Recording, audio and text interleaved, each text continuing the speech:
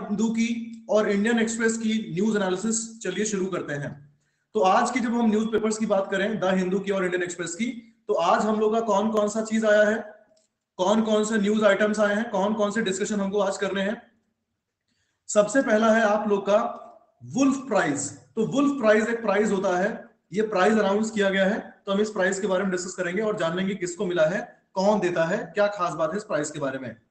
दूसरा मुद्दा है इंडिया और पाकिस्तान के बीच में टेंशन का। तो this a place called Sir Creek Sir Creek में क्या है? इंडिया और पाकिस्तान का डिस्प्यूट चल रहा है।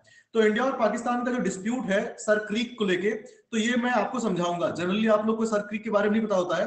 जनरली आप लोग को लगता है कि इंडिया से पाकिस्तान का जो संबंध है, वो कश्मीर के मुद्दे पे खराब है। कश्मीर के लिए हमारी प्रॉब्लम है, बाकी सब कुछ सही है, लेकिन ऐसा नहीं है। एक और लाइन है, एक और पॉइंट है सर क्रीक जहाँ पे इंडिया और पाकिस्तान का डिस्प्यूट है तो ये मैं आपको समझाऊँगा। तीसरी न्यूज़ जो है भाई, ये तो एक तरीके से ब्रेकिंग न्यूज़ है आज की। ब्रेकिंग न्यूज़ क्या है जानते हो? एक बंदा है जिसका नाम है नेदु मरन। अभी जो नेदुमरन भाई है, ये इन्होंने अनाउंस किया है, इन्होंने एक इंफॉर्मेशन दी है कि जो लिट्टे का चीफ था, प्रभाकरन, आप लोग को पता ना, लिट्टे का चीफ प्रभाकरन, जिसकी डेथ हो गई थी अराउंड 2009 इन्होंने बोला कि प्रभाकरन की भी डेथ नहीं हुई है, वो भी ज़िंदा है। प्रभाकरन अभी ज़िंदा है, इन्होंने ऐसा बोला है तो हम डिस्कस करेंगे इस पूरी न्यूज़ के बारे में, ये बहुत ही इंपॉर्टेंट न्यूज़ है हमारे लिए। अगली न्यूज़ आ रही है मॉरिशस से। तो मॉरिशस के जो मंत्री हैं, मॉरिशस के एक मिनिस्टर हैं, उन्होंने इंडिया का जो सपोर्ट है, उसकी बहुत तारीफ़ की है। इन्होंने कहा है, शागोस वाले मुद्दे पे जो इंडिया हमको सपोर्ट करता है, बहुत ही अच्छा करता है, हम इंडिया से यही उम्मीद करते हैं। तो इंडिया शागोस वाले मुद्दे पे मॉरिशस की क्या सपोर्ट करता है, और ये शागोस वाला मुद्दा है ही क्या है बेसिकली शागोस एक आइलैंड का ग्रुप है, ढेर सारे आइलैंड्स हैं। तो मैं आपको बताऊँगा क्या डिस्प्यूट है, किस चीज़ को लेके मॉरिशस को इंडिया सपोर्ट कर रहा है। ओ हो हो हो हो हो। यार, एक सीन हो गया है, ये पहली और पांचवी न्यूज़ रिपीट हो गई है यहाँ पे। हम्म कोई नहीं, यहाँ पे वील हैव समथिंग एल्स यहाँ पे वील हैव समथिंग एल्स अभी मैं यहाँ पे डिस्कशन करता हूँ।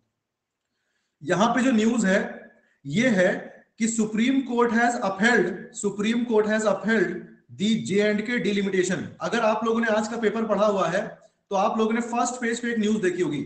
हालाँकि ये न्यूज़ में पहले भी डिलिमिटेशन वाला मुद्दा मैं पहले करा चुका हूँ आप लोग को, इसीलिए मैंने ये चीज़ उठाई नहीं थी आज। इसीलिए ये चीज़ मैंने उठाई नहीं थी, लेकिन सिंस अब हमारी एक न्यूज़ रिपीट हो चुकी है so let's do one thing इस लास्ट वाली न्यूज़ को रिप्लेस करके डी जेएनके का जो डिलिमिटेशन है, इसको सुप्रीम कोर्ट ने होल्ड किया है, इसकी बात कर लेंगे। क्लियर अच्छा आप लोग को पता होगा, कुछ दिनों पहले मैंने आप लोगों से एक लीगल इशू डिस्कस किया था ब्रेकिंग लीगल में, जिसमें एनएलयू त्रिपुरा वाला मुद्दा था। एनएलयू त्रिपुरा वाला जो इशू था, वो मैंने आप लोगों से कुछ दिनों पहले डिस्कस किया था न्यूज़ नगर्स में अगर आप लोग को ध्यान होगा।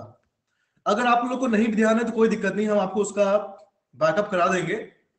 आज ये जो क्लाट वाला जो इशू था बेसिकली ये क्लैट का जो एग्ज़ाम होता है क्लाट के इशू पे ये मुद्दा उठा था। अब क्लैट के मुद्दे पे क्लैट के एडमिशन के मुद्दे पे जो एलयू त्रिपुरा का मुद्दा उठा था, उसमें सुप्रीम कोर्ट का एक रिस्पांस आया है। आप सबको पता है इस केस के बारे में? सौम्या संजय वर्सेस अनिल त्रिपुरा।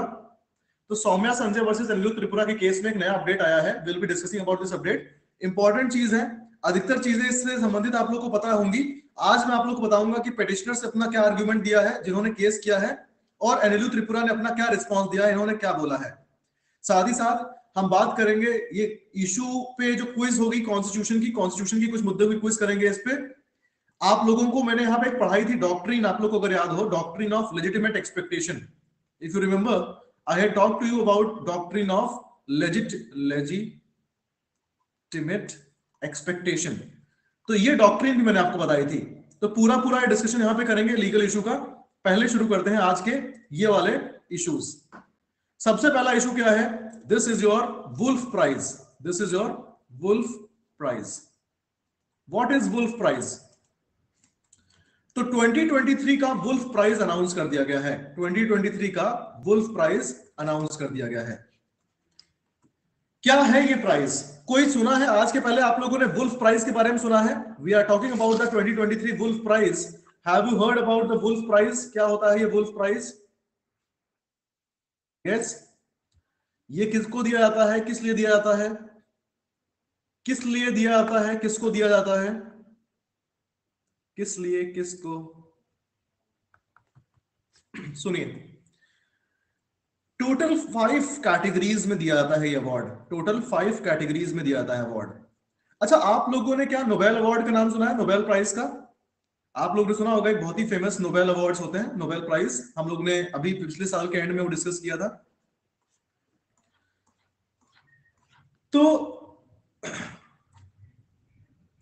यहाँ पे जो नोबेल अवार्ड्स हैं, ये दुनिया में बहुत ही ज़्यादा रेस्पेक्ट होती है इन अवार्ड्स की स्पेशली जब हम बात करें for peace for science for literature इन सब के लिए नोबेल अवार्ड्स बहुत ही फ़ेमस अवार्ड्स हैं। तो नोबेल अवार्ड तो बहुत ही फ़ेमस है, आप बोल सकते हो these are the most famous awards these are the most famous awards when it comes to science और लिटरेचर और पीस इन्हीं सब चीज़ों के लिए तो है। इकोनॉमिक्स के लिए भी दिया जाता है। साइंस में तीन कैटेगरी है फिजिक्स केमिस्ट्री एंड फिजियोलॉजी वैसे ही जैसे कि नोबेल अवार्ड दिए जाते हैं तो नोबेल अवार्ड्स कौन देता है? ये तो स्वीडन की तरफ़ से दिए जाते हैं। ये तो स्वीडन की तरफ़ से है। उसी तरीके से जो वुल्फ प्राइज है, वुल्फ प्राइज भी बहुत ही फ़ेमस प्राइज है, और ये कौन देता है? ये देता है इसराइल क्लियर हो गया?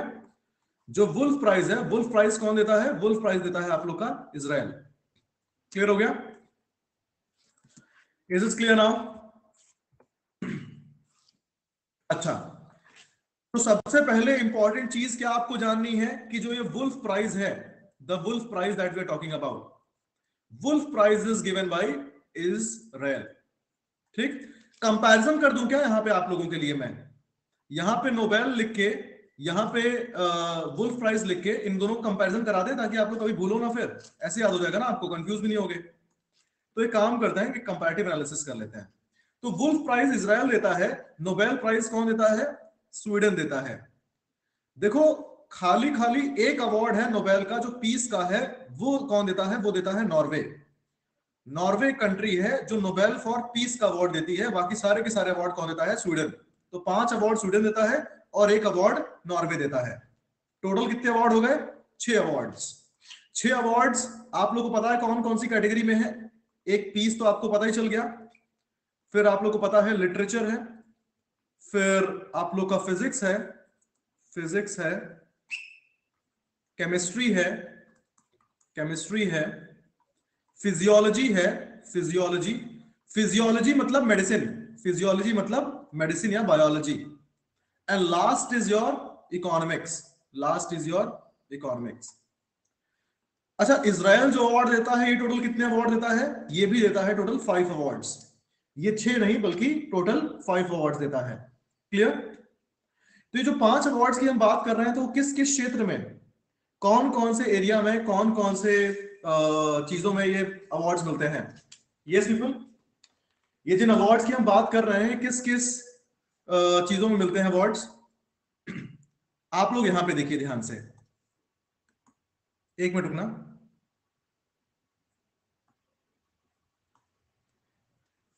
एक आपने क्या देख लिया?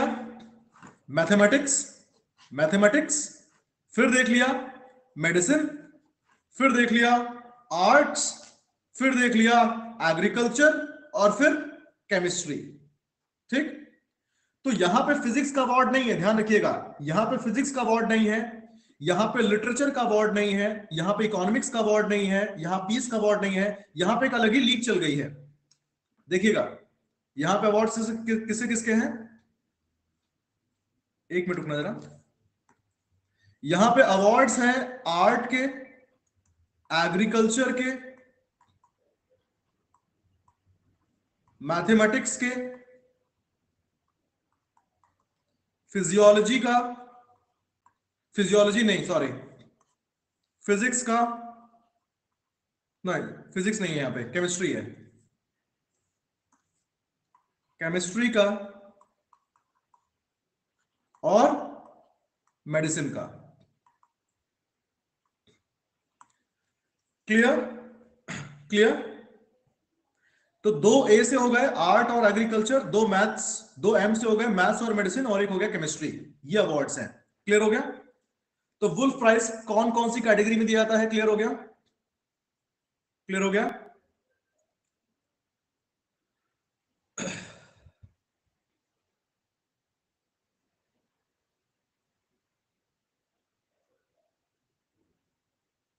अच्छा एक चीज़ और, एक चीज़ और।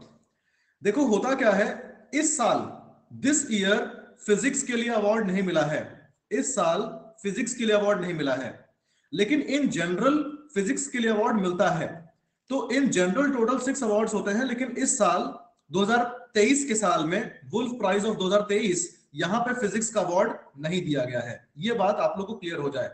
ये जब मैं बोलता हूँ, पाँच अवार्ड तो पाँच अवार्ड्स इस साल के हैं। वैसे फिजिक्स का अवार्ड भी मिलता है, इस साल के लिए ये फिजिक्स का अवार्ड नहीं दिया गया है। क्लियर हो गया? जब हम बात करते हैं वुल्फ प्राइज की तो Wolf Prize were founded by ये किसने फाउंड किया था? ये फाउंड किया था एक बंदा था जिसका नाम था क्या? रिकार्डो रिकार्डो वुल्फ ये क्यूबा का एम्बेसडर था। He was an Cuban ambassador he was an he was a Cuban ambassador to Israel Israel में ये क्यूबा का एम्बेसडर था और एक साइंटिस्ट भी था तो इसी के नाम पे ये अवार्ड शुरू किया गया है। This is called the Wolf Prize clear हो गया? क्लियर हो गया? पहली बार कब अवार्ड किया गया था? पहली बार अवार्ड किया गया था in the year 1978 clear is is clear और देता कौन है इस अवार्ड को?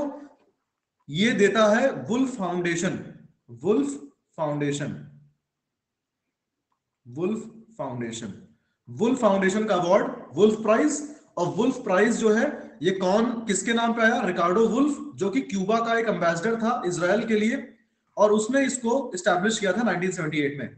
देखो जो ये वाला पार्ट है, इस वाले पार्ट को आप इग्नोर भी कर सकते हो। इस वाले पार्ट को आप इग्नोर भी कर सकते हो। अगर आपको ज़्यादा इसमें कंफ्यूजन हो रहा है तो उसको आप छोड़ दीजिए। क्लियर क्लियर हो गया? बोलिए भाई, सभी लोग बताइए। मम्मे क्यूबा एक कंट्री है। Leave that part Palak. अगर क्यूबा का एम्बेसडर वगैरह वाला पार्ट नहीं समझ में आ रहा है तो उसको स्किप कर सकती है, छोड़ दो से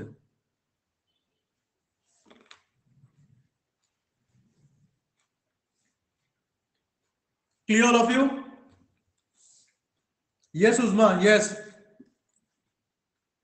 this award was established in 1978 this award was establish in 1978 clear clear हो गया? बोलो भाई। आज आप लोग इतने एक्साइटमेंट कहाँ चला गया भाई? वैसे तो आप लोग बहुत एक्साइटेड रहते हैं। थक हो गए हैं क्या एकदम से? ओके, आगे चले। ओके, अगला टॉपिक अच्छा एक चीज़ और, एक चीज़ और। दुखी है, ऐसा क्या हो गया भाई?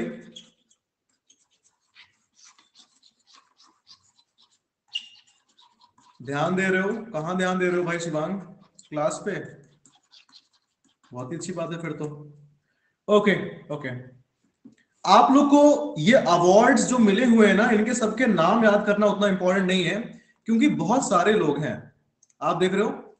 इतने सारे लोग हैं तो इनके आपको अवार्ड्स जो अवार्ड मिले हैं, जो अवार्डीज हैं, इनके नाम उतने याद करने बहुत ज़रूरी नहीं है, मैं कहूँगा। ठीक है? Still if you want to learn you can but as I told you since there are so many awardees there is no need to learn all the names here clear हो गया? समझ आ गया? किसी किसी? ओके क्लियर हो गया? Okay आगे चलें। ओके अगला जो टॉपिक है this is India Pakistan dispute over Sir Creek this is India Pakistan dispute over Sir Creek no Indian को नहीं मिला है। इंडियन को नहीं मिला है। ये जो वुल्फ प्राइज है वुल्फ प्राइज में कोई इंडियन नहीं है। ठीक? अगला है India Pakistan issue India Pakistan issue अब इंडिया क्या कर रहा है ना? ये इंडिया है। ये छोटू है पाकिस्तान। तो इस जगह पे ये है इंडियन स्टेट ऑफ़ गुजरात और ये है Pakistani state of Sindh clear हो गया? ये है सिंध पाकिस्तान का और ये है गुजरात इंडिया का। तो इंडिया में जो गुजरात का और पाकिस्तान में सिंध का जहाँ बॉर्डर लगता है at this part at this part यहाँ पे ना अलग अलग पानी की नहरें ऐसी चलती रहती हैं। पानी की अलग अलग आपको पता होगा ऊपर से यहाँ से इंडस रिवर यहाँ से होते हुए आके यहाँ पे गिरती है। पता है आप लोग को? तो यहाँ पे ना पानी के अलग अलग चैनल्स हैं। अब पानी के अलग अलग जो चैनल्स हैं, इस साइड इंडिया है, इस साइड पाकिस्तान है। तो ये पानी के चैनल्स में ही कंफ्यूजन है। पाकिस्तान कहता है, जो ये वाला चैनल है, वो ये बॉर्डर है। ये बॉर्डर है। तो इधर का सारा इलाका हमारा है। इंडिया कहता है, बेटा, पागल हो गए हो क्या? ये बॉर्डर है। ये जो पानी का चैनल है, ये बॉर्डर है। तो इधर का सारा हमारा है, तुम चलो साइड हो जाओ। इस, ये जो है, ये जो है, इसको हम बोलते हैं बन गंगा क्या बोलते हैं? इसको हम बोलते हैं बन गंगा क्लियर हो गया? इसी का नाम है, इसी का नाम है सर क्रीक। ये जो वाटर बॉडी है, जो कि मल्टीपल चैनल्स मल्टीपल चैनल्स वाली वाटर बॉडी जो कि इंडिया और पाकिस्तान के बीच में डिस्प्यूटेड है। पाकिस्तान का सिंध स्टेट इंडिया का गुजरात स्टेट इंडिया का गुजरात स्टेट पाकिस्तान का सिंध स्टेट इन दोनों के बीच में ये बॉर्डर जो है, इसी बॉर्डर को मैंने मैग्निफाई किया है। यहाँ पे ढेर सारी ऐसी वाटर बॉडीज हैं जो बहती रहती हैं। अब इसमें कौन सी वाटर बॉडी बॉर्डर कौन सी वाटर बॉडी बॉर्डर बनाएगी, इसमें प्रॉब्लम होती है। तो पाकिस्तान कहता है कि जो सबसे इधर वाली है, वो है, ताकि ये पूरा इलाका पाकिस्तान में आ जाए। आप लॉजिक समझ रहे हो कंट्रीज़ क्यों ऐसा कह रही हैं? एक कंट्री ये है, एक कंट्री ये है। मान लो इनके बीच में वाटर बॉडी जो है, ये बॉर्डर बना रही है, ये है वाटर बॉडी तो ये वाली कंट्री हमेशा क्या चाहेगी कि ये बॉर्डर माना जाए, ताकि ये सारा इलाका हमारे अंदर आ जाए। और ये कंट्री क्या चाहेगी कि ये बॉर्डर माना जाए, ताकि ये सारा इलाका हमारे अंदर आ जाए। तो ये प्रॉब्लम है। क्लियर हुआ? क्लियर गोलू इसलिए दुखी है क्योंकि आज ही के दिन पुलवामा वाला अटैक हुआ था। कोई दिक्कत नहीं है गोलू। अब वो तो हो गया। आगे से वैसे अटैक नहीं होते ना। अब मना हो गया कोई दिक्कत नहीं है। आज पुलवामा रिमेम्बरेंस डे है all of you today is fourteen of Feb today is Pulwama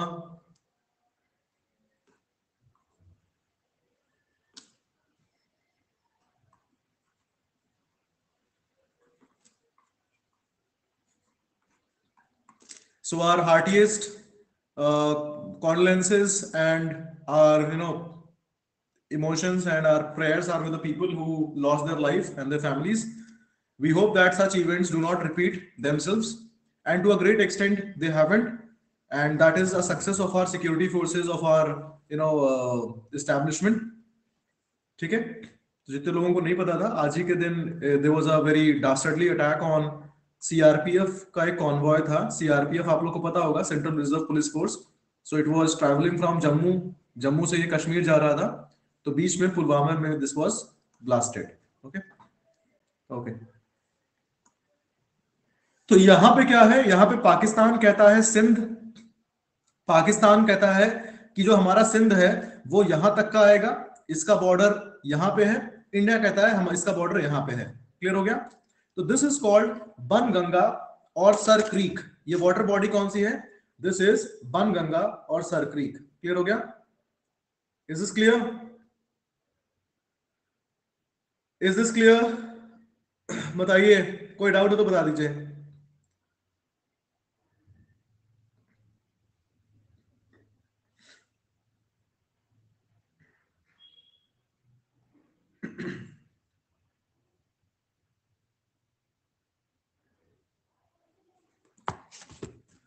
अच्छा अब एक चीज़ काम करते हैं। कुछ मैं आपको एक प्रिंसिपल समझा देता हूँ। एक प्रिंसिपल बहुत इंपॉर्टेंट है।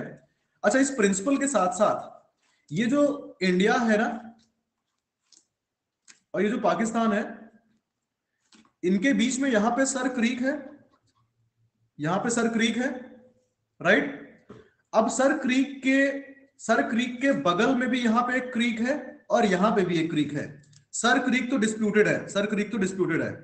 ये जो है, ये है Kori Creek this is your Kori Creek ध्यान रखिएगा, बगल में वाटर बॉडी है कोरी क्रीक और जो पाकिस्तान में इधर साइड में वाटर बॉडी है this is called Kajar creek this is called Kajar creek और ये जो डिस्प्यूटेड है this is your Sir Creek Sir Creek का दूसरा नाम क्या है? ये आपसे पूछ सकते हैं द नेम इज़ बन गंगा बन गंगा ये क्या है? ऐसी वाटर ऐसी जगहों को क्या बोलते हैं? ऐसी वाटर बॉडीज को हम क्या बोलते हैं? ऐसी वाटर बॉडीज को हम बोलते हैं estuary they call it estuary clear हो गया? क्लियर हो गया? ऐसी वाटर बॉडी को हम क्या बोलेंगे? एस्चुअरी अच्छा ये टॉपिक न्यूज़ में क्यों आ गया? ये टॉपिक न्यूज़ में क्यों आ गया? अब देखो, ये न्यूज़ में इसलिए है क्योंकि इंडिया क्या कर रहा है? इंडिया सर क्रीक के पास कुछ कंस्ट्रक्शन कर रहा है। इंडिया क्या कर रहा है? हम लोग सर क्रीक के पास यहाँ पे एक बॉर्डर आउटपोस्ट बना रहे हैं। क्या बना रहे हैं? Border outpost.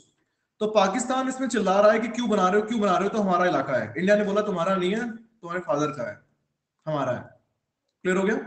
यहाँ पे सर क्रीक में इस जगह पे हम लोग एक बॉर्डर आउटपोस्ट बना रहे हैं। तो पाकिस्तान कह रहा है, यहाँ पे मत बनाओ, ये डिस्प्यूटेड इलाका है, ये हमारा है। तो इंडिया ने कहा, नहीं नहीं, हमारा है, हम अपने इलाके में बना रहे हैं। क्लियर हो गया?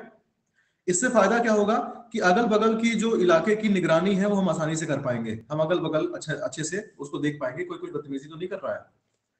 क्लियर हो गया? Estuary is type of water body estuary is type of water body आप नोट कर लीजिए, ये जो सर क्रीक है, वो क्या है? एस्चुरी है। जब जोग्राफी पढ़ेंगे तो एस्चुरी क्या होता है और बैक वाटर्स क्या होते हैं सब बाद में पढ़ेंगे। अभी इसको ध्यान दीजिए। क्लियर हो गया? क्लियर हो गया? मेरी प्रिंसिपल लेडीज़ थी पागल हो गए हो क्या शिवम भाई? मुझे क्यों बता रहे हो? मैं क्या करूँ उसका? कॉन्ग्रेचुलेशन आगे चले पीपल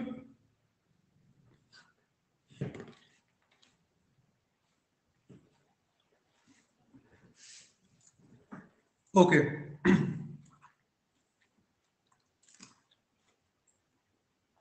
एक इंपॉर्टेंट इंफॉर्मेशन आप नोट कर लो. अगर एक वाटर बॉडी है, एक वाटर बॉडी है। और ये मान लो इंडिया है और ये मान लो पाकिस्तान है। तो एक वाटर बॉडी जो कि है, जिसके अंदर पानी है, मान लो ये रिवर है। ये एक रिवर है जो इधर को फ्लो कर रही है। तो अगर किसी भी दो कंट्रीज़ के बीच में या दो टेरिटरीज के बीच में सर आप क्वेश्चंस नहीं बता रहे हो। कुमकुम पागल हो गई हो क्या? कौन सा क्वेश्चन नहीं बता रहा हूँ? ओके तो यहाँ पे अगर ये वाटर बॉडी है, जो कि दो कंट्रीज़ के बीच में है,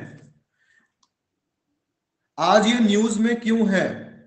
पलक कानपुर में तुम्हारी हड़ताल हो रखी है क्या? सुनाई नहीं पड़ रहा है तुमको एक बार में? बोल रहा हूँ ना इंडिया वहाँ पे एक बॉर्डर आउटपोस्ट बना रहा है, जिसको पाकिस्तान अपोज कर रहा है। India is making a border outpost और वहाँ पे उसको अपोज कर रहा है पाकिस्तान। कि मत बनाओ यहाँ पे। इंडिया कह रहा है, हम बनाएँगे, क्योंकि हमारा इलाका है, हम इसमें बना सकते हैं। इसलिए न्यूज़ में है। ओके अच्छा एक चीज़ का ध्यान दीजिए, अगर दो देश हैं, एक पाकिस्तान हो गया और एक इंडिया हो गया, इन दोनों देशों में अगर कोई एक वाटर बॉडी है और वो वाटर बॉडी इनका बॉर्डर बना रही है, पाकिस्तान और इंडिया का मान लो वाटर बॉडी एक वाटर बॉडी है जो बॉर्डर बना रही है तो इसमें बॉर्डर का पॉइंट क्या होगा? ये वाला पॉइंट होगा कि ये वाला पॉइंट होगा कि यहाँ से बॉर्डर बनेगा नदी के बीचों बीच से, कहाँ से बनेगा? नदी के बीचों बीच से बनेगा, कि साइड से बनेगा, कहाँ से बनेगा? चलो अच्छा इस वाले पॉइंट को हम ए मान लेते हैं, इसको बी मान लेते हैं, इस वाले पॉइंट को सी मान लेते हैं, और इस वाले पॉइंट को डी मान लेते हैं। आपको क्या लगता है वाटर बॉडी में कौन सा पार्ट जो होगा, वो बॉर्डर बनाएगा? आप लोगों को क्या लगता है, कौन सा पार्ट इसमें बॉर्डर बनाएगा?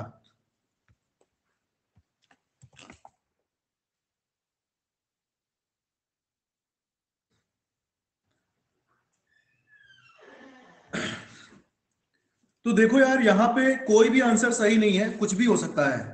एक्चुअली यहाँ पे आंसर ए भी हो सकता है बी भी हो सकता है सी भी हो सकता है डी भी हो सकता है। अच्छा मान लो कोई ये नदी है। इस नदी में, मान लो कोई भी रिवर है, ये रिवर है। आप इस रिवर में यहाँ पे अंदर घुसे तो यहाँ पे थोड़ा गहरा होगा। मान लो यहाँ पे पाँच मीटर गहरी है नदी, थोड़ा और अंदर जाओगे, हो सकता है इस पॉइंट पे नदी पंद्रह मीटर गहरी हो। और इस पॉइंट पर पहुँचे ना तो पता चला नदी जो है 21 मीटर गहरी है। और इसके बाहर जब इधर जाने लगे तो यहाँ पे पता चला कि 12 किलोमीटर है और फिर यहाँ पे तो नॉर्मल आ गया। तो सबसे गहरा पॉइंट कहाँ पे मिला? क्या नदी के बीचों बीच में मिला? नहीं। पॉसिबिलिटी है कि सबसे गहरा पॉइंट नदी के बीचों बीच में ना मिले, कहीं साइड में मिल जाए। अगर ये आपकी पूरी नदी ऐसे जा रही है तो सबसे गहरा पॉइंट ज़रूरी नहीं कि नदी के बीचों बीच मिलेगा, हो सकता है किसी साइड में मिल जाए। तो जो गहरा पॉइंट है, सबसे गहरा पॉइंट इस जगह से इस जगह तक अगर बॉर्डर है तो सबसे गहरे पॉइंट को ट्रेस करो। सबसे गहरा पॉइंट इधर, फिर मान लो सबसे गहरा पॉइंट इधर हो, फिर इधर हो, फिर इधर हो, फिर इधर हो, फिर ऐसे ऐसे आ रहा हो, फिर ऐसे आ रहा हो। तो इन सभी गहरे पॉइंटों को आप जब एक लाइन में जोड़ोगे तो जो लाइन निकल के आएगी, ये होगी international border this will be the international border not the mid point और the medium point in the river and this is called this is called thalweg doctrine very very very very very very important whenever an international border is formed by a river or a water body whenever international border is formed by a river or water body in that case the line of border the line of border will be the line which connects the deepest point in that water body ये समझ में आया थालवेग doctrine thalweg doctrine बहुत important है। आप लोग समझ लीजिए इसको। रटने बैठेंगे, किताब से समझ नहीं पाएँगे आप। अभी मैं आपको समझा रहा हूँ। किसी भी नदी में जो सबसे गहरा पॉइंट है, नदी मान लो यहाँ से शुरू हुई और यहाँ तक गई। तो जहाँ शुरू हुई, जहाँ से बॉर्डर शुरू हुआ, उस बॉर्डर वाले पॉइंट शुरुआत से आप सबसे गहरा पॉइंट देखो और गहरा पॉइंट ट्रेस करते हुए जाओ। इधर सबसे गहरा पॉइंट इधर, फिर इधर आ गया, फिर इधर आ गया, फिर इधर चला गया, फिर यहाँ फिर यहाँ। अब इन सभी गहरे पॉइंटों को एक लाइन से मिला दो। तो जो लाइन निकल के आई है यही आप लोग का इंटरनेशनल बॉर्डर है. क्लियर हम्म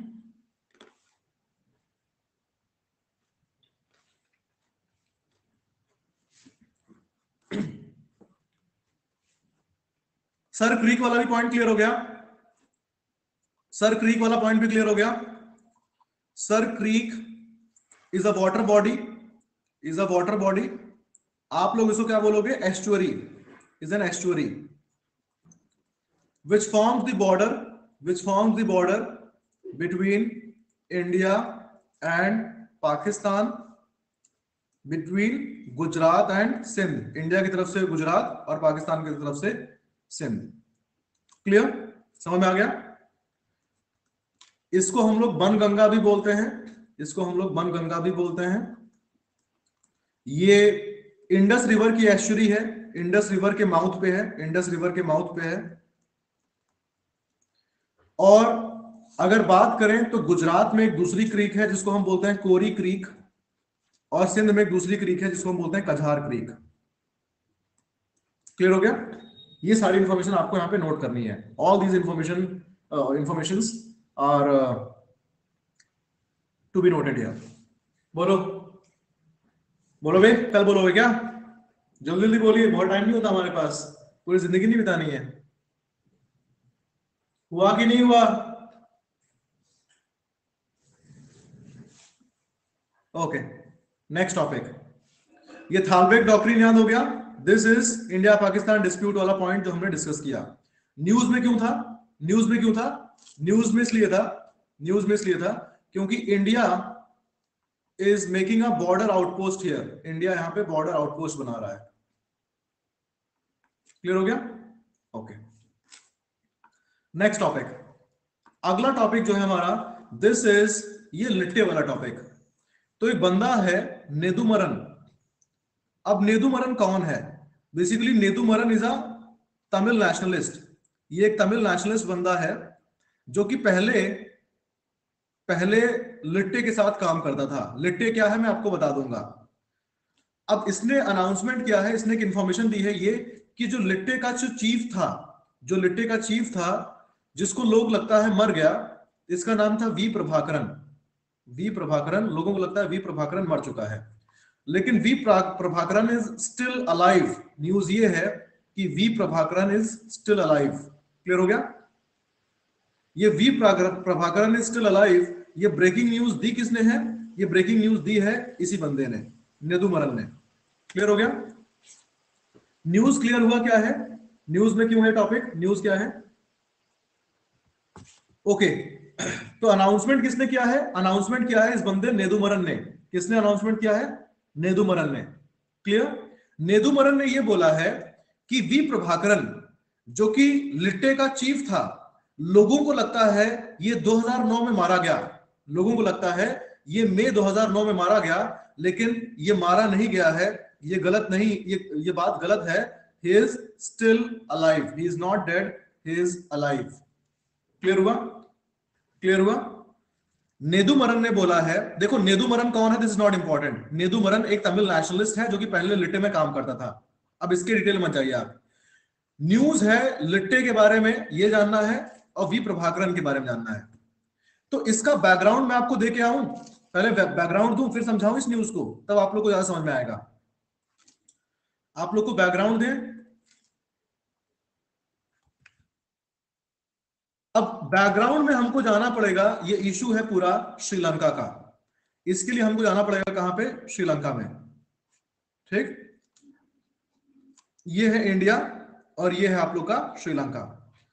अब श्रीलंका जो कंट्री है, आप सबको पता है, पहले it was a British colony पहले it was a British colony Sri Lanka was a British colony and it was called Ceylon it was called Ceylon पहले ब्रिटिश कॉलोनी होता था इसको क्या बोलते थे? सेलॉन बोलते थे। क्लियर देखो, इसका नाम सेलॉन कब तक रहा? उसका नाम सेलॉन कब तक रहा? 1972 में 1972 में, देखिए, ये कंट्री आज़ाद तो हो गई 1948 में ही। 1948 में आज़ाद हो गया। लेकिन 1972 में इसका नाम सेलॉन से बदल के क्या कर दिया गया? श्रीलंका कर दिया गया। श्रीलंका कर दिया गया। In the year 1972 क्लियर अब होता क्या है? ये कंट्री का आपने बदल दिया सब कुछ सिस्टम बदल दिया। अब 1972 में इसका नाम बदला और 1978 में क्या होता है? इस कंट्री का नया कॉन्स्टिट्यूशन आता है। इस कंट्री का नया कॉन्स्टिट्यूशन आता है। जब इस कंट्री का कॉन्स्टिट्यूशन आया तो हमारे देश का जब कॉन्स्टिट्यूशन आया, आप लोग को याद होगा, जब हमारे कंट्री का कॉन्स्टिट्यूशन आया तो उसमें क्या लिखा था? कि all the Indians are equal चाहे हिंदू हो, मुस्लिम है सिख ईसाई सबको बराबर है, सबको इक्वली का अधिकार मिलेगा हमारे देश में।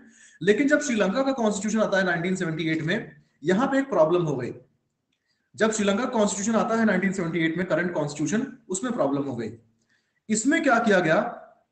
इसमें इशू ये इस बात का आया इशू क्या आया? अगले पेज पे देखते हैं। ट्रेस किया हमने 1948 में इंडिपेंडेंस 1972 में new constitution sorry name change और 1978 में आपका कॉन्स्टिट्यूशन अब जानते हो कॉन्स्टिट्यूशन में क्या हुआ? कॉन्स्टिट्यूशन में ये बोला गया कॉन्स्टिट्यूशन में ये बोला गया कि श्रीलंका की जो मेजोरिटी कम्युनिटी है, कौन सी कम्युनिटी है? श्रीलंका में मेजोरिटी कौन सी कम्युनिटी है? श्रीलंका की मेजोरिटी कम्युनिटी को हम बोलते हैं सिन्हालीज या Sinhala. This is called the Sinhala community Sinhala community को बहुत सारे अधिकार दे दिए गए। और जो बाकी के कम्युनिटीज हैं, जिसमें मेनली कौन थे? तमिल्स जिसमें मेनली कौन थे? तमिल्स तमिल्स को एक तरीके से सेकेंड क्लास सिटीजन बना के छोड़ दिया गया। तमिल्स को कुछ भी राइट नहीं दिए गए। क्लियर तो इससे जो तमिल्स थे तमिल्स बेसिकली श्रीलंका में श्रीलंका का अगर मैप में आपको दिखाऊँ तो श्रीलंका के मैप में आपने देखा होगा जो नॉर्दर्न पार्ट है श्रीलंका का। उसका बॉर्डर इंडिया से लगता है। श्रीलंका का जो नॉर्दर्न पार्ट है, ये इंडिया से लगता है। तो श्रीलंका का जो ये इलाका है नॉर्दर्न और ईस्टर्न यहाँ पे तमिल्स बहुत रहते हैं, यहाँ पे तमिल्स बहुत रहते हैं। तो तमिल्स को राइट्स दिए नहीं गए, सिन्हाला लोगों को राइट दे दिए गए। तो तमिल लोग काफ़ी गुस्सा हो गए। इससे गुस्सा होके क्या हुआ? इससे गुस्सा होके क्या हुआ? इससे गुस्सा होके इन लोगों ने अपना एक मूवमेंट शुरू कर दिया। और this movement is called L Tamil लोग जिनको लगा कि 1978 में जो कॉन्स्टिट्यूशन आया इसने हमको कोई राइट तो दिया ही नहीं है। हमको तो एक सेकंड क्लास सिटीजन बना के छोड़ दिया है। तो इन्होंने क्या किया? अपना एक अलग से मूवमेंट शुरू किया और जिसको हम क्या बोलते हैं? एलटीटीई मूवमेंट क्लियर हुआ? क्लियर हो गया? अब एलटीटीई क्या होता है? एल का फुल फॉर्म मैं आपको बताऊँ। एल का फुल फॉर्म क्या है? This is called liberation tiger liberation tiger tigers किस चीज़ के लिए? फॉर तमिल तमिल इलाम इलाम मतलब होता है कंट्री मतलब 1976 में ही एक ग्रुप बना दिया गया, लिट्टे, और इन्होंने ये ग्रुप क्यों बनाया?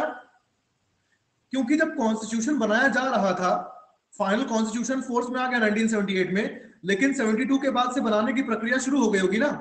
तो इन्होंने देखा भाई कि सारा जो अधिकार है वो मेजोरिटी कम्युनिटी को दिया जा रहा है तमिल्स को कुछ मिला ही नहीं है, इसलिए इन्होंने एक अपना अलग से ग्रुप बना लिया। This is called LTTE that is liberation tigers for Tamil Eelam अब क्लियर हुआ? अब क्लियर हुआ एलटीटी के बारे में सबको? अब हुआ क्या? जब ये ग्रुप बन गया एलटीटी एलटीटी क्यों बना? एलटीटी क्यों बना? लड़ने के लिए। एलटीटीई इन्होंने इसीलिए बनाया ताकि एलटीटीई लड़े श्रीलंका की गवर्नमेंट से और श्रीलंका की गवर्नमेंट से लड़के, ये लोग क्या करें? तमिलियंस के लिए एक अलग से इलम बना दें। तमिलियंस के लिए अलग से कंट्री बना दें, या तो तमिलियंस को राइट दे दें। तो लड़ाई होती रही। ये लड़ाई जाके फाइनली खत्म होती है 2009 में, जब ये रिपोर्ट आई कि एलटीटीई ऑलमोस्ट पूरी तरीके से खत्म हो चुका है, और इसका जो लीडर था, जिसका नाम है वेलू पिल्लई जिसका नाम था वेलू पिल्लई प्रभाकरन। ये न्यूज़ आती है कि वेलू पिल्लई प्रभाकरन मर चुका है और इसका जो ग्रुप है, ये भी ऑलमोस्ट खत्म हो चुका है। ठीक? लेकिन अभी लेटेस्ट अपडेट क्या है? लेटेस्ट अपडेट क्या है? लेटेस्ट अपडेट ये है कि एक बंदा है जिसको हम बोलते हैं नंदू मरन, उसने बोला है कि Velu Pillai Prabhakaran is still alive is still alive clear अब क्लियर हुआ ये पूरा न्यूज़ आप लोग को? अब क्लियर हुआ आप लोग की पूरी न्यूज़ रितु एलटीटी कब बना? 1976 में।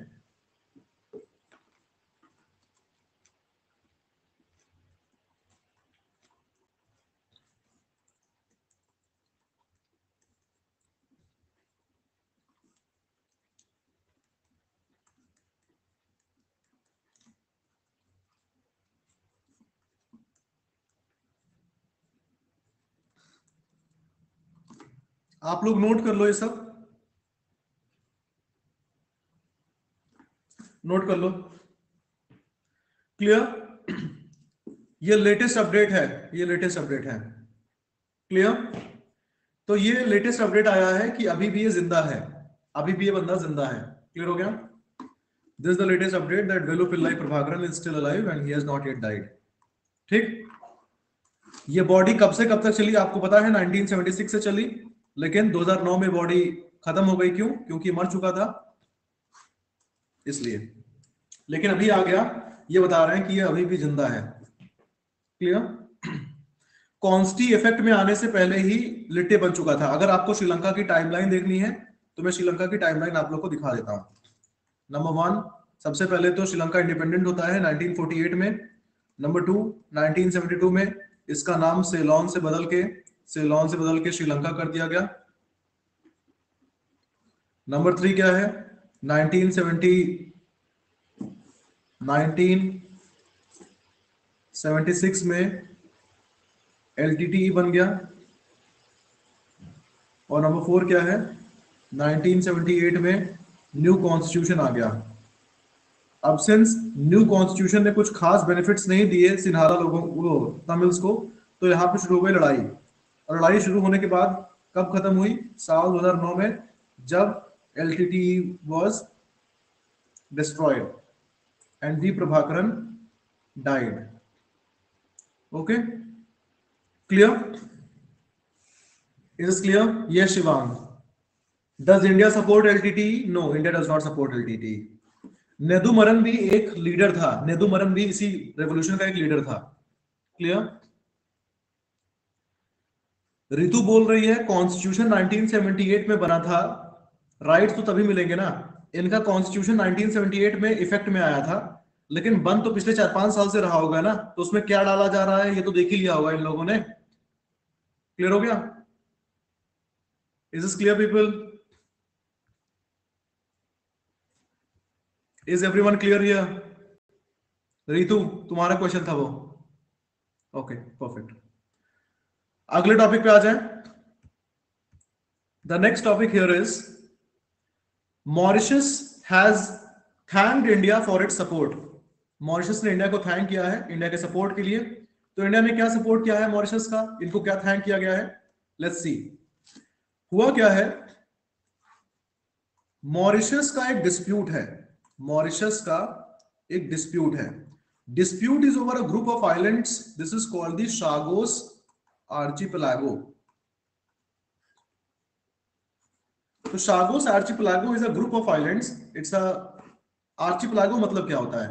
आर्चिपलागो शब्द का मतलब ये होता है ग्रुप ऑफ़ आइलैंड्स इस शब्द का ही मतलब है ग्रुप ऑफ़ आइलैंड्स तो Chagos archipelago is a group of islands अब इस ग्रुप ऑफ़ आइलैंड्स में हुआ क्या है? ध्यान सुनिएगा। हुआ यह है कि जो शागोस आर्चिपलागो है ये डिस्प्यूट चल रहा है, ये डिस्प्यूट चल रहा है किसका? मॉरिशस का, किसके साथ? यूके के साथ। अब इस डिस्प्यूट में इंडिया ने किसका सपोर्ट किया है? मॉरिशस का सपोर्ट किया है। इसलिए Mauritius is thanking India India ने सिर्फ़ इंडिया ने सिंस यहाँ पे मॉरिशस का सपोर्ट किया है। इसलिए मॉरिशस इंडिया को थैंक कर रहा है थैंक यू बोल रहा है कि भाई अच्छा किया, आपने हमारा सपोर्ट किया। क्लियर हुआ? इज़ इज़ क्लियर पीपल बोलिए जी। ओके अब यहाँ पे क्या हुआ है?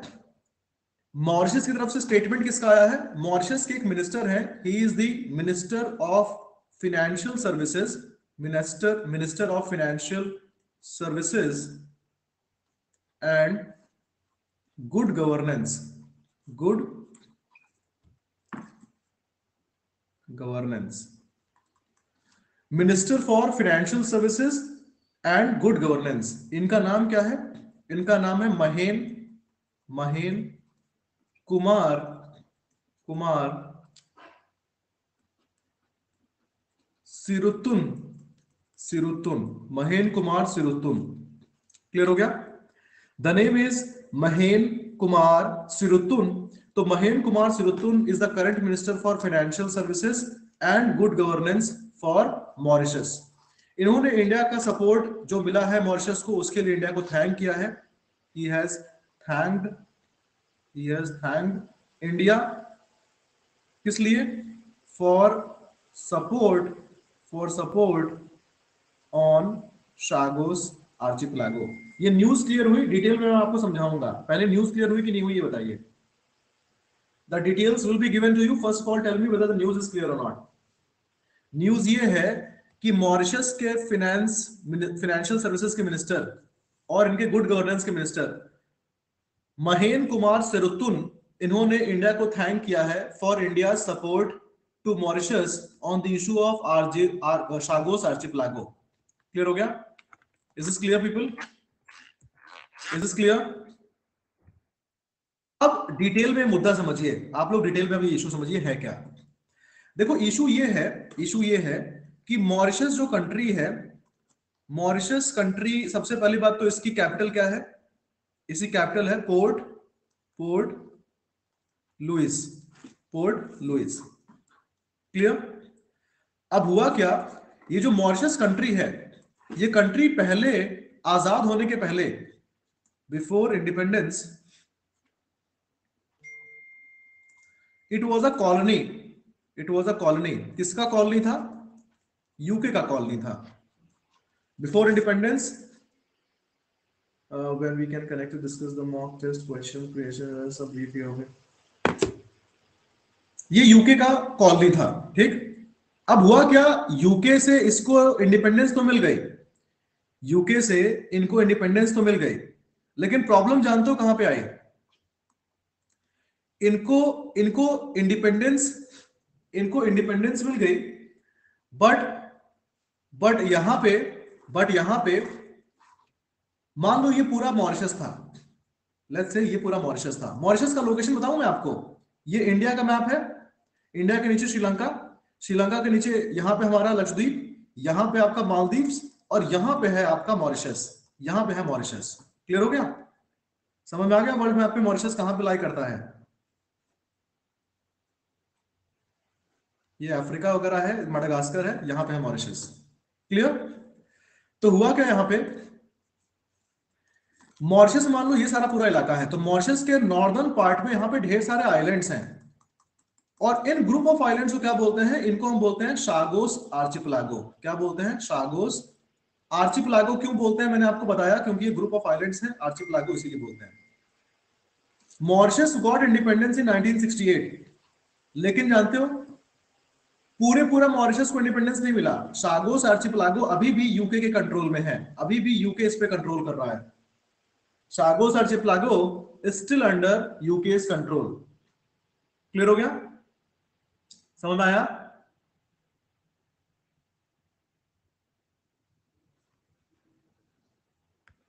ओके okay, ओके तो हुआ क्या? इस मुद्दे को लेके, इस मुद्दे को लेके मॉरिशस कहाँ चला गया? इंटरनेशनल कोर्ट ऑफ़ जस्टिस चला गया। इस मुद्दे को लेके मॉरिशस कहाँ चला गया? इंटरनेशनल कोर्ट ऑफ़ जस्टिस चला गया। क्लियर हो गया? Is is clear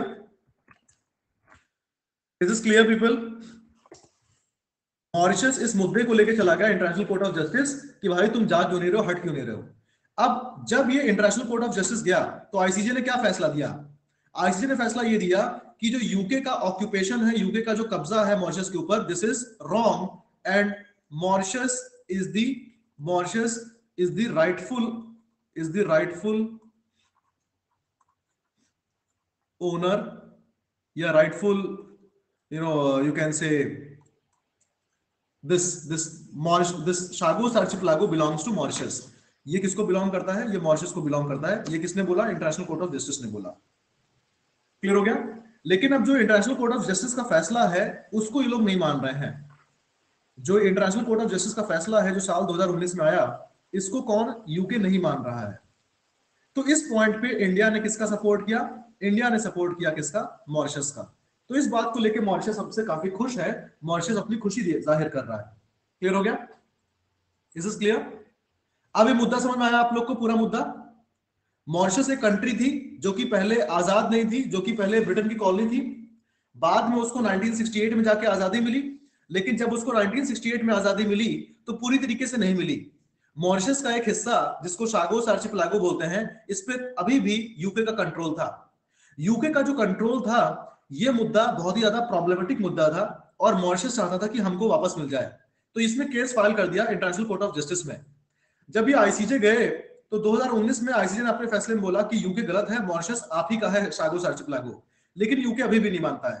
तो मॉरिशस का इंडिया सपोर्ट कर रहा है, इसीलिए इन्होंने हमको हेल्प किया, इन्होंने हमको थैंक यू बोला। क्लियर हो गया? मॉरिशस के बारे में सारी इंफॉर्मेशन क्लियर हो गई। मॉरिशस क्या है? मॉरिशस की कैपिटल क्या है? मॉरिशस के पीएम का नाम भी नोट कर लो। ये अभी बीच में इंडिया आए हुए थे। इनका नाम है प्रवीण जगन्नाथ प्रवीण जगन्नाथ प्रवीण जगन्नाथ क्लियर हो गया? क्लियर हो गया? अच्छा। अच्छा शागोस आर्चिपलागो में एक बहुत ही फ़ेमस आइलैंड है। इस आइलैंड का भी नाम नोट कर लो। एक बहुत ही फ़ेमस आइलैंड है। इस आइलैंड का नाम नोट कर लो आप लोग। This island is called the island of Diego Diego Garcia Diego Garcia क्या है? Diego Garcia is basically USA का नेवल बेस ये यूके का था। देखो यूके ने अपने पास रोक लिया था? यूके ने इसको अपने पास रोक लिया था, आपको पता है। 1968 में आज़ादी दे दी मॉरिशस को, लेकिन ये चीज़ अपने पास रोक ली यूके ने। अब इसी में एक आइलैंड, डिएगो गार्शिया ये आइलैंड उठा के इन्होंने यूएसए को दे दिया कि आप अपने यहाँ पे मिलिट्री एक्टिविटीज़ कैरी आउट करिए, कोई दिक्कत नहीं, आप हमारे दोस्त हैं। तो ये आइलैंड भी बहुत न्यूज़ में रहता है। अगर ये आइलैंड न्यूज़ में आएगा, किसका नेवल बेस है? तो यूएसए का नेवल बेस है। कहाँ पे है? It is in Mauritius. Clear? Clear हुआ कि नहीं हुआ, बताइए everyone is this clear last year ये न्यूज़ में था। Last year Diego Garcia was in news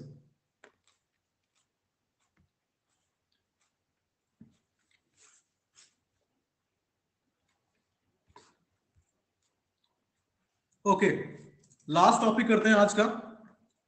देखो, ये टॉपिक हम लोग पहले कर चुके हैं तो इसको रिपीट नहीं कर रहे हैं। कुछ और करने वाले हैं। हम लोग क्या करने वाले हैं? हम लोग करने वाले हैं supreme court court upholds upholds J and K delimitation J and K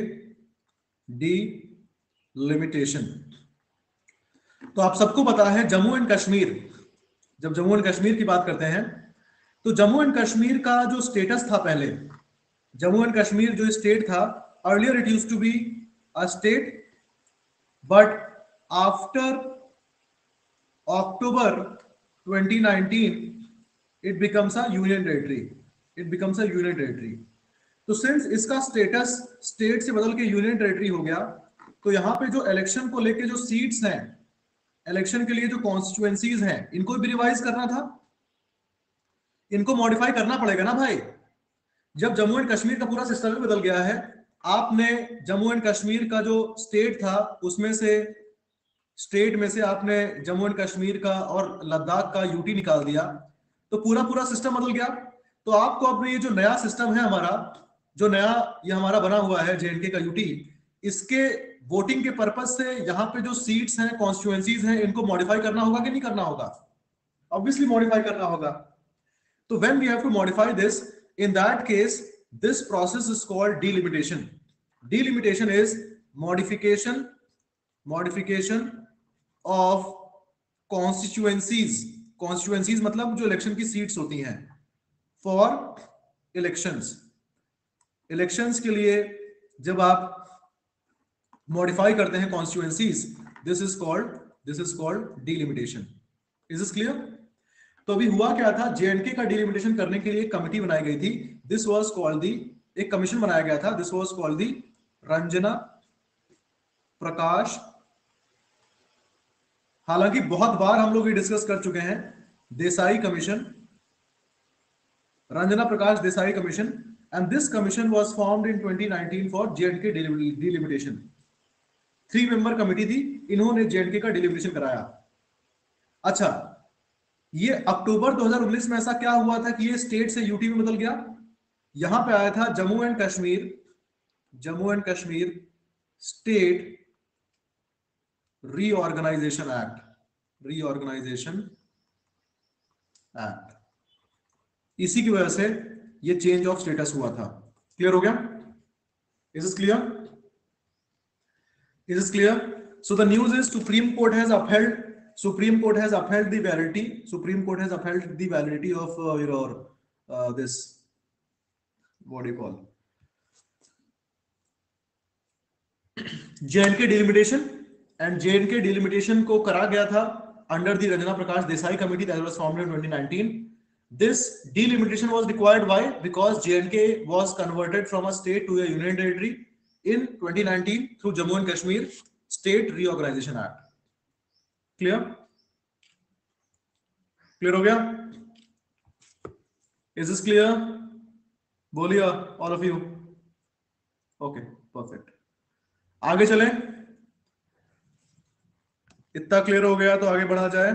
इस न्यूज़ में अधिकतर चीज़ें आप लोग को पहले से पता है, इसलिए मैं उसको रिपीट नहीं कर रहा हूँ, ठीक है? बाकी का जो अभी का अपडेट था, वो मैंने आपको बता दिया है। क्लियर कोई प्रॉब्लम आ रही हो तो मुझे बता दीजिए। ओके ओके आगे चलने के पहले मैं आप लोगों के लिए एक ज़रूरी अनाउंसमेंट है, बता देता रहा हूँ।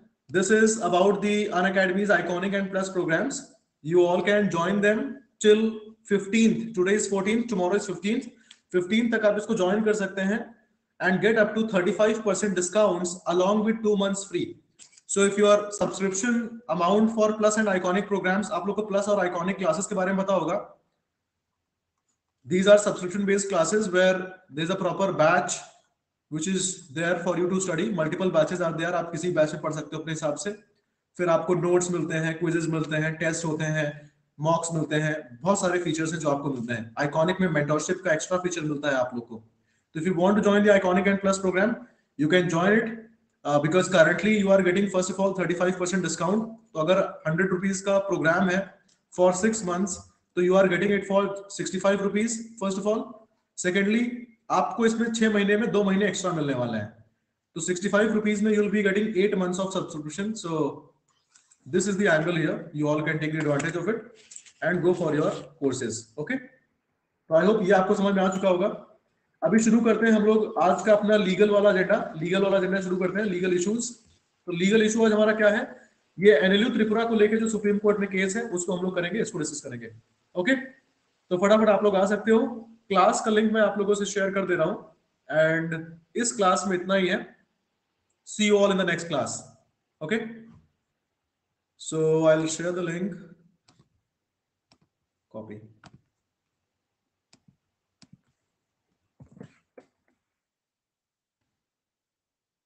Okay, people, you can